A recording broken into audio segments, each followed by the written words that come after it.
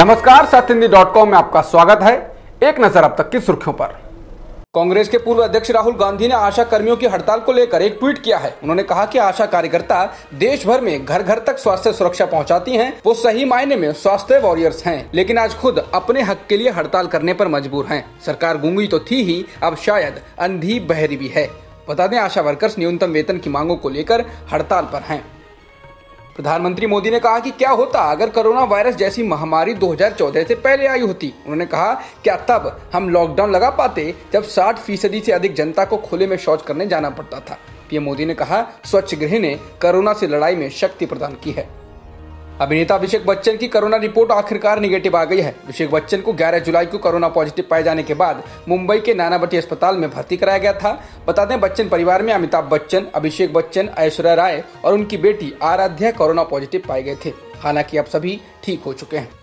भारत में पिछले एक दिन में इकसठ हज़ार से अधिक नए मामले आए हैं और 933 लोगों की जान गई है, जिसके साथ ही देश में कुल संक्रमितों का आंकड़ा बीस लाख अट्ठासी हज़ार से अधिक हो गया है और मरने वालों की संख्या भी बयालीस हज़ार से अधिक हो चुकी है। फ़िलहाल एक्टिव केस छह लाख से अधिक हैं।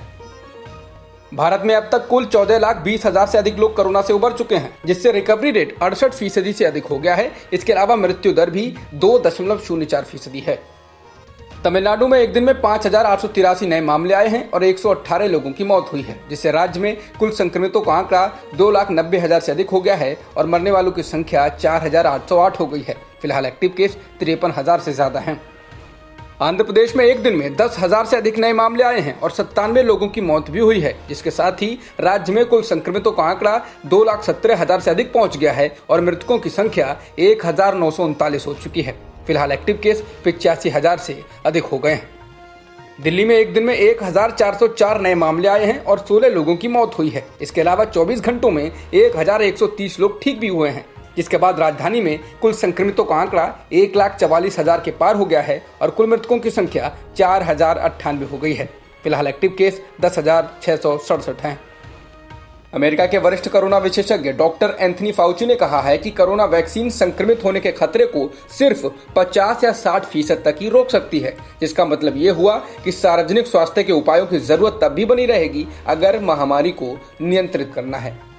जॉन्स हॉपकिंस यूनिवर्सिटी के मुताबिक दुनिया में संक्रमितों का आंकड़ा एक करोड़ चौरानवे लाख के पार पहुँच गया है और मृतकों की संख्या भी सात लाख इक्कीस हज़ार से अधिक हो चुकी है। फ़िलहाल एक करोड़ पच्चीस लाख से अधिक लोग ठीक भी हो चुके हैं। जॉन्स हॉपकिंस यूनिवर्सिटी के मुताबिक अमेरिका में संक्रमितों की कुल संख्या उनचास लाख इकतालीस हज़ार से अधिक हो गई है और कोरोना के कारण अभी तक एक लाख इकसठ हज़ार से अधिक लोगों की मौत हो चुकी है। वहीं ब्राज़ील में भी संक्रमितों का आंकड़ा उनतीस लाख बासठ हज़ार से अधिक हो चुका है और निन्यानवे हज़ार से अधिक लोगों की जान भी जा चुकी है। अब तक की खबरों में बस इतना ही। बाकी खबरों के लिए बने रहिए सत्य के साथ।